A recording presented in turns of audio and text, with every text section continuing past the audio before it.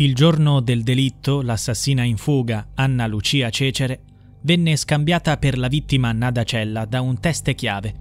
Erano straordinariamente somiglianti. Il PM lo ha documentato nelle carte dell'indagine che hanno portato alla richiesta di processo per l'omicidio presunto di Nada Cella, una giovane segretaria impiegata presso lo studio del commercialista Marco Soracco. Il tragico evento si è verificato la mattina del 6 maggio 1996 a Chiavari, Genova, costituendo ancora oggi un enigma irrisolto che, negli ultimi mesi, ha visto emergere diversi colpi di scena. La criminologa Antonella Delfino Pesce è stata fondamentale nell'indagine, scoprendo elementi cruciali che potrebbero portare a una svolta nel caso. In seguito alla riapertura delle indagini, la Procura ha raccolto prove sufficienti nei confronti di Anna Lucia Cecere, attualmente residente in provincia di Cuneo. Nei prossimi giorni spetterà alla giudice per le udienze preliminari, Angela Maria Nutini, decidere se Cecere dovrà affrontare un processo per l'omicidio della giovane segretaria. Soracco e sua madre, Marisa Bacchioni, sono a rischio di essere rinviati a giudizio, poiché sono entrambi accusati di favoreggiamento e false dichiarazioni, il pubblico ministero afferma.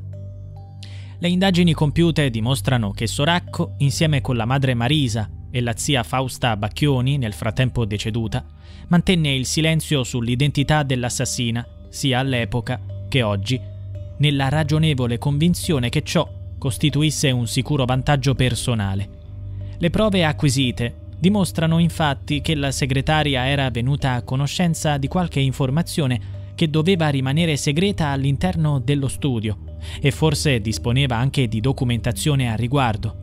Una straordinaria coincidenza portò Anna Lucia Cecere, per motivi di rancore e gelosia, ad aggredire la segretaria nello studio, ove la stessa si trovava la mattina del 6 maggio 1996 e dove certamente sopraggiunse il soracco.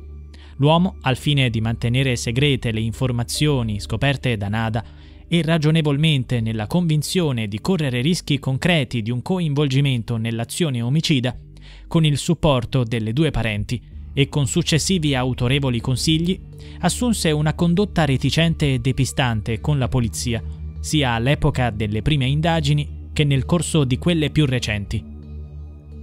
Secondo l'accusa, se Cecere ha compiuto l'omicidio di Nada in un impeto di rabbia incontrollata, Soracco, sua madre e sua zia avrebbero coperto la presunta assassina per timore che attribuirle la colpa avrebbe portato alla luce le scoperte di Nada sul conto del commercialista. Il PM aggiunge che la distanza tra l'ufficio in via Marsala, dove avvenne l'omicidio di Nada, e l'abitazione di Anna Lucia Cecere in via Dante è di appena 90 passi, percorribili in un minuto. Nonostante la Cecere fosse subito sospettata, gli investigatori non riuscirono a raccogliere alcun elemento incriminante. Il 9 agosto 1996, alcuni mesi dopo il delitto, una donna non identificata chiamò la casa del commercialista. La madre rispose alla chiamata. La donna misteriosa affermò di aver visto Anna Lucia Cecere, sporca di sangue, fuggire con un motorino dalla scena del crimine il giorno dell'omicidio. Marisa Bacchioni non sembrò sorpresa come riportato nelle carte. La Bacchioni descrive la Cecere come una persecutrice del figlio, tanto da aver dovuto chiedere a Nada di non passare più le chiamate di lei al figlio. All'interlocutrice anonima, la donna raccontò che la sera dell'omicidio aveva avuto il coraggio di chiamare un'amica del figlio perché voleva prendere il posto di Nada, appena defunta, al lavoro. Tuttavia la telefonata è stata completamente ignorata e nonostante la presenza di una registrazione, né gli investigatori né la madre di Soracco hanno mai menzionato l'episodio. Nonostante la sua rilevanza nell'indagine, è rimasta un argomento non trattato. Ma non è tutto. Una vicina di casa, che risiedeva sullo stesso pianerottolo dell'ufficio di Soracco, riferì agli agenti di aver visto Nada entrare in ufficio alle 9 del mattino.